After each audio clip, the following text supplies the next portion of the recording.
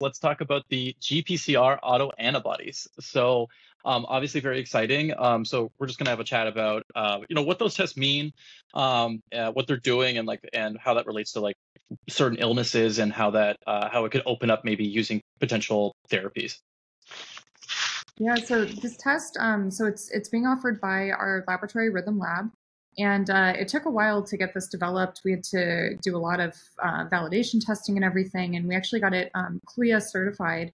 So um, you know, it, it this the results of this test can actually be used to make medical decisions um, because they reach the standard of accuracy and precision that's required for medical decision making, um, which is super exciting. That, that was that was a lot of work, and um, you know, it's uh, basically the the test panel it tests for autoantibodies against nine different GPCR receptors and against ACE2.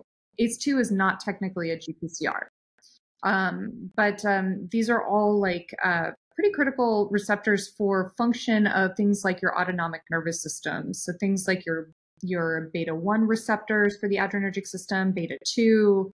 You've got alpha one. We've got muscarinic receptors one and two. Um, also, there's endothelin receptors and uh, certain um, angiotensinogen receptors. So mm-hmm. um, it's a whole host of these, and a lot of the things that these receptors play a role in. And this is just a limited explanation. They play so many roles in the body, it's hard to go over them. But, um, you know, a lot of them play a role in things like how fast your heart rate goes, also like how your blood vessels either dilate or constrict. Things like immune system functions. So, even uh, certain immune cells actually have beta 2 adrenergic receptors on them.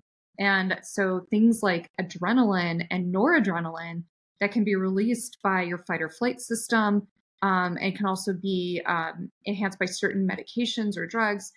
Those can activate these receptors to cause different functions. Um, and so having autoantibodies against these receptors, the thing is this this test that we have, it doesn't tell you the function of the antibody. So it just tells you that this antibody, which is kind of like a Y-shaped protein, and it just like will just go and bind to the receptor. So if my fist is the receptor, can bind to it, but we don't know exactly where it's binding. And we don't know when this thing binds, does it make this receptor less likely to activate? Does it block it?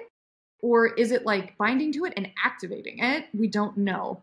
And so that's where the the the difficulty in interpretation of this test comes in is you kind of have to like really look through the patient's symptoms and match it up to if you've got, let's say, the beta 2 receptor autoantibody is high for a patient. So let's say, you know, that one comes back elevated. The way I'd kind of approach it in my mind is like, I'd say, okay, let's look at this patient's symptoms. Let's say this person got COVID, you know, a year ago, and then they started getting really dizzy when they stand up. And we did orthostatic vitals on them, and they have orthostatic hypotension, meaning they stand up and their blood pressure drops significantly. So they're walking around and they're not getting enough blood to their head. They're foggy, they're dizzy, they're tired. Um, and let's say they have this beta 2 autoantibody. So in that case, I'd be looking at things like okay, their blood pressure is dropping when they stand. Let's say they also have like kind of purplish discoloration of their feet and their lower legs when they stand up. What that kind of tells me is that their blood when they stand is just pooling in their legs gravity is just pulling all that blood south. Mm-hmm. And their body is not able to force all that blood back up to get to their heart and their head. And so that can cause, you know, a bunch of different symptoms that they may be experiencing. So when you look at what the beta 2 receptor does when it's activated, what does it do? It causes the blood vessels to dilate, get bigger.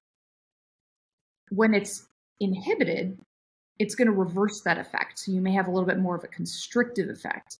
So if you think about it, when someone stands up, the veins in the legs are basically filling up with a bunch of blood and they're just kind of ballooning out and all that blood is kind of turning their legs a bit purple and so that blood's not getting to their head so i would assume based on their symptoms that that antibody may be activating that beta 2 receptor and causing a little bit of vasodilation or at least it may be blocking the body's signal saying when they stand up hey you need to you need to constrict your blood vessels you know otherwise you're going to pass out and it's just that signal's not getting there, possibly because this antibody might be interfering.